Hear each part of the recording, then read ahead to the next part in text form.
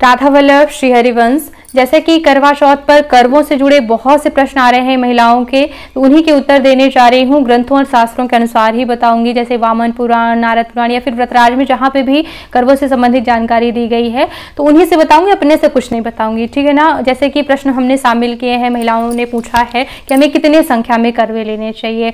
मिट्टी का करवा लेना चाहिए कि पीतल का करवा लेना चाहिए? क्या हम एक ही करवा में पूजा नहीं कर सकते यह भी पूछा गया है। और जिन्हें करवा ही नहीं मिला, जैसे लोग विदेशों में भी रहते हैं तो क्या लोटे से चंद्र देवता को अर्घ प्रदान किया जा सकता है या नहीं? यह भी हम बात करेंगे। एक और प्रश्न पूछा जाता है कि अगर हम अकेले पूजा कर रहे हैं तो करवा बदलने की विधि कैसे करनी होती है? तो इस प्रश्न का उत्तर भी जो हमने इस वीडियो में शामिल किया हुआ है। और पूजा करने के बाद जैसे कि करवा दान किया जाता है तो अगर सास को दान नहीं कर पा रहे हैं तो फिर किसे दान करना चाहिए, यह भी बात करेंगे। और करवों में क्या भरना शुभ होता है? बहुत ही अच्छे से जो है ग्रंथ में बताया गया है तो वो हम बात क्योंकि कई लोग पानी भरते हैं, कई दूध भरते हैं, कई जो है मिठाई भरते हैं तो क्या है सही? कई लोग चीनी के करवे रखते हैं तो आखिर क्या सत्य बात है? तो यानी करवा चौथ पर करवों से जुड़ी संपूर्ण जानकारी इस वीडियो में देने जा रही हूँ। सबसे पहले बात कर लेते हैं कि हमें कितने करवे लेने चाहिए। तो देखिए, दो करवे लेना बहुत ज़्यादा अनिवार्य होता है। एक करवा हम हर बार दान करने के लिए लेते हैं और एक करवे से जो है हम पूजा करके चंद्र देवता को अर्घ प्रदान करते हैं।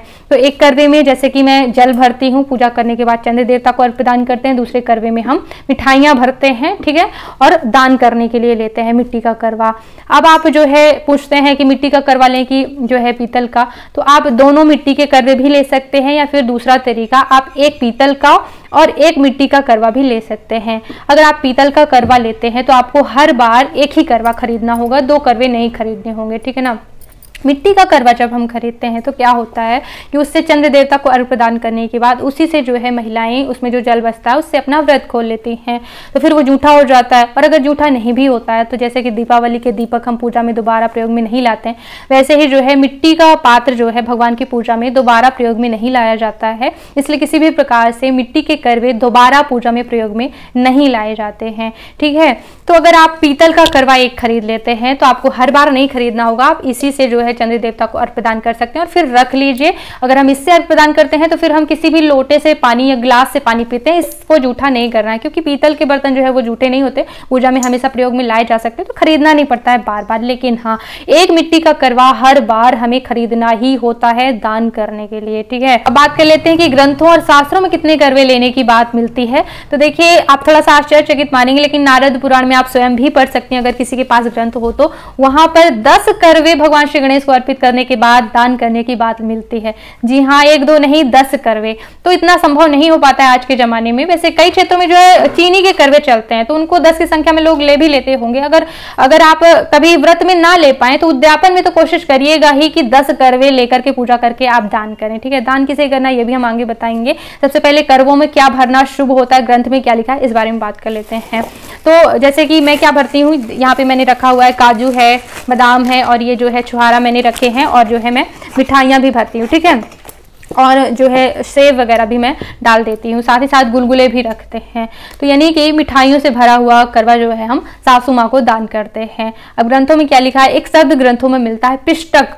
पिष्टक का क्या मतलब है, मुझे अच्छे से स्वयं भी नहीं पता है, लेकिन हाँ थोड़ा बहुत अंदाजे से अगर बताऊँ तो जो है गुलगुले भी आप भर सकते हैं, या फिर जो है जो पूड़ियाँ बनती हैं गुड़ और आटे से, घी में मतलब तलकर तो उनको जो है आप भर सकते हैं, ठीक है? क्योंकि पिष्टक का अर्थ सही नहीं पता, लेकिन लिखा हुआ है पिष्टक। साथ ही साथ पकवान के साथ जो है कर्मों को दान करने की बात लिखी हुई है।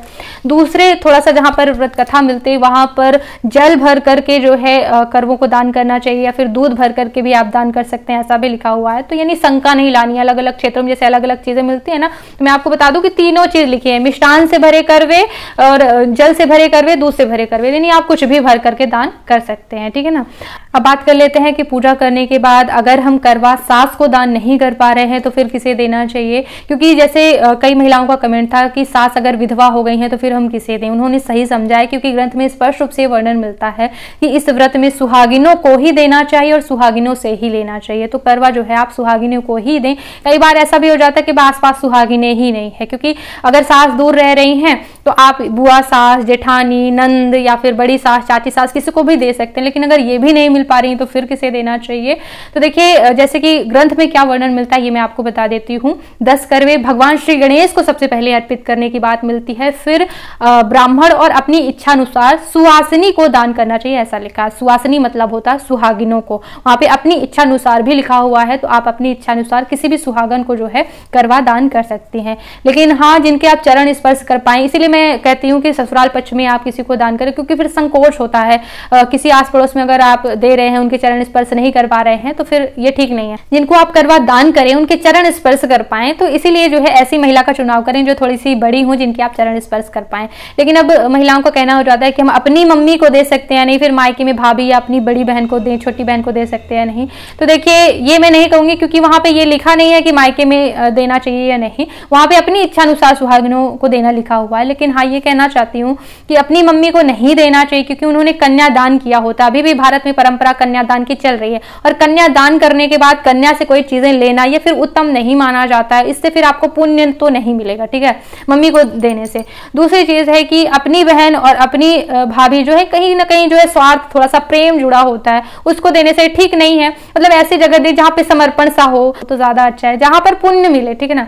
तो मतलब मेरे हिसाब से मायके में किसी को देना सही नहीं, बाकी आप लोग देख लीजिएगा, क्योंकि लिखा है किसी भी सुहागन को मतलब दे सकते हैं। तो मम्मी को तो नहीं देना, बाकी आप लोग देख लीजिएगा, जिसकी भी इच्छा हो, मेरे हिसाब से तो ससुराल में ही जो है किसी का चयन करना चाहिए देने के लिए, ठीक है? आसपास कोई नहीं है तो फिर ब्राह्मण सबसे उत्तम जो है विकल्प होते हैं, क्योंकि लिखा हुआ है ग्रंथ में कि सुवासनी और ब्राह्मण तो एक ही तो करवा है। हमारे कौन से दस करवे हैं कि हमको ढूँढने जाना पड़ेगा सुहागिनों को? तो एक ही करवा है, मंदिर में किसी भी पुजारी को ब्राह्मण को जो है आप दान कर सकते हैं। ज़रूरी नहीं है कि मंदिर में अगर आसपास भी कोई ब्राह्मण मतलब रहते हैं, ब्राह्मणी मिल रही हैं आपको तो आप उनको दे करके चरण स्पर्श करके आशीर्वाद ले सकती हैं। एक बात और है कि अगर आप किसी ऐसे जगह रह रहे हैं कि कुछ दिन बाद जो है सास के पास जा सकते हैं तो आप मेरे जैसे कर सकते हैं। जैसे कि मैं ड्राई फ्रूट्स भरती हूँ पहले, और पूजा करने के बाद ड्राई फ्रूट्स निकाल के पॉलिथीन में रख देती हूँ, और फिर महीने बाद, दो महीने बाद जब भी जाते हैं तो वापस जो है इनको करवे में डाल करके सासू माँ को दे देते हैं। तो क्या होता है, ड्राई फ्रूट्स खराब नहीं होते। कुछ मिठाइयाँ ऐसी जो खराब ना हो उनको आप डाल सकते हैं और फिर दान कर सकते हैं। तो ये भी किया जा सकता है ताकि सासू माँ को ही जो है चीज़ें मिलें। अब बात कर लेते हैं कि अगर हम अकेले पूजा कर रहे हैं तो करवा बदलने की विधि जो है कैसे करनी होती है? तो देखिए मैं आपको बता दूँ कि ग्रंथों और शास्त्रों में ऐसा कोई वर्णन नहीं है करवा बदलने का या नहीं बदलने का, लेकिन अपनी अपनी परंपरा बिल्कुल निभाना चाहिए। लोक रीति, देश रीति जो भी है, वहाँ अगर किया जाता है तो बिल्कुल करना चाहिए। अब हमारे क्षेत्र में तो नहीं किया जाता तो मैं फिर भी आपको बताना चाहती हूँ कि करवा अगर हम जैसे कि एक में मिठाई भरते हैं, दो करवे नहीं लेते अगर दोनों करवे में आप समान चीज़ें भरते हैं कि दोनों में ही जल है या फिर दोनों में ही मिठाइयाँ हैं तो ऐसे बदल सकते हैं, कोई दिक्कत नहीं है, ठीक है ना? और अगर एक करवे में मिठाई और एक करवे में जल भरते हैं, जैसे कि हम भरते हैं तो फिर क्या करना है? जो करवा चौथ की फ़ोटो होती है, उसमें कलश बना होता है, एक करवा बना होता है, उसी से स्पर्श करके करवा लो, माँ करवा दो, वा लो, करवा दो, ऐसा कहते हुए जो है हम करवा बदलने की रीति फ़ोटो में ही करवा से स्पर्श करा करके और कर लेते हैं। तो जो है आप इस प्रकार से भी करवा बदलने की रीति कर सकते हैं, बाकी लिखा हुआ नहीं है कहीं करवा बदलने या फिर ऐसा कुछ। इसी के साथ ही एक और सवाल, जैसे कि पूछा जाता है कि करवा मिल ही नहीं रहा है तो क्या करें? जैसे जो लोग विदेश में रहते हैं तो देखिए, एक करवा आप पीतल का लेके जा सकते हैं, जिससे आप हर बार पूजा कर लेंगे, चंद्र देवता को अर्पदान कर सकते हैं। अगर ये भी नहीं है तो फिर आप सिंपल लोटे से भी चंद्र देवता को अर्पदान कर सकते हैं, हर कोई, ठीक है? लेकिन एक करवा बहुत ज़रूरी होता है दान करने के लिए तो मिट्टी का नहीं मिल रहा है तो फिर क्या करना चाहिए? फिर आप चीनी का करवा बना करके, सीरा बना करके, शक्कर का, और फिर जो है किसी को दान कर सकते हैं। फिर अपना दिमाग लगाइए, क्योंकि कई क्षेत्रों में जो है चीनी के करवे प्रचलित होते हैं ठीक है ना? तो आप किसी प्रकार से या फिर जो है, खोवा जो होता है, दूध से बना मावा, उसमें शक्कर मिला करके यानी शीरा बना करके मिठाई बनाकर, जैसे एक थोड़ा सा दिमाग लगाना पड़ेगा, एक छोटी सी ग्लास लीजिए, उसमें ऐसे मिठाई लपेट के, वो जब सूख जाएगी, कड़ी हो जाएगी तो करवे का आकार दे करके और फिर उसमें कुछ भर करके दान कर सकते हैं। किसी प्रकार से आपको दिमाग लगाना है कि कैसे करवा बनाना है। वैसे चीनी का करवा तो कहीं ना कहीं उल्लेख में मिल भी जाता है, लेकिन जो है, मिट्टी का सिंपल मटकी भी बना सकते हैं, लेकिन उसको पका नहीं सकते तो कच्ची मिट्टी भी लेने में लोग सोचेंगे कि कौन जादू टोना कर रही है। इसीलिए सबसे बेहतर है कि आप जो है चीनी का या फिर मिठाई का जो है पूरा करवा बना ले, किसी तरह से दिमाग लगा कर फिर सिंपल सा ही जो है छोटा सा लोटा बना ले, क्योंकि चीनी के करवे इतने छोटे छोटे आते हैं। तो इतना ही छोटा अगर मटकी भी बन जाए, उसको रख करके पूजा में, पूजा करके, श्री गणेश को अर्पित करके, फिर किसी को दान कर दीजिए तो वो खाने में प्रयोग में आ जाता है मिठाई, ठीक है? इस तरह से कर सकते हैं। अब जो करवों में आगे सीके लगाई जाती हैं, सरई, उरई जिनको बोला जाता है, ठीक है? तो उनका क्या करना चाहिए अगर वो नहीं मिल रही है? तो देखिए, उनका भी कोई ग्रंथों में वर्णन नहीं है। उसको सिर्फ़ मेरे हिसाब से इसलिए लगाया जाता है ताकि पानी ना निकले, क्योंकि हम जब जल भर देते हैं तो यहाँ से निकलने लगता है तो इसलिए जो है उसको लगाया जाता है। तो उसकी कोई आवश्यकता नहीं है, अगर नहीं मिल रहे हैं तो। अगर मिल रहे हैं तो ज़रूर लेना चाहिए, क्योंकि उनसे जो है किसी को रोज़गार मिलता है। ठीक है? पहले के जमाने में क्या होता था कि करवों में बड़े बड़े करवे ले लिए, उसमें जल भर दिए तो लोग मिट्टी के घड़े में ही पानी पीते थे। आजकल तो लोग फ्रिज में पानी पी रहे हैं तो मिट्टी का करवा लेगा कौन? और ये इसमें से पानी निकालने में आसानी भी होती थी पहले। तो पहले चल जाता था कि वो दस करवे दान कर देते थे, लेकिन आज के ज़माने में नहीं है तो कम से कम मिठाई भर के आप किसी को दान अवश्य करें। है मैंने करवा चौथ की व्रत और पूजा संबंधित बहुत से वीडियो दिए हुए उन्हें देखने के लिए एक बार चैनल पर ज़रूर आइएगा। राधे राधे।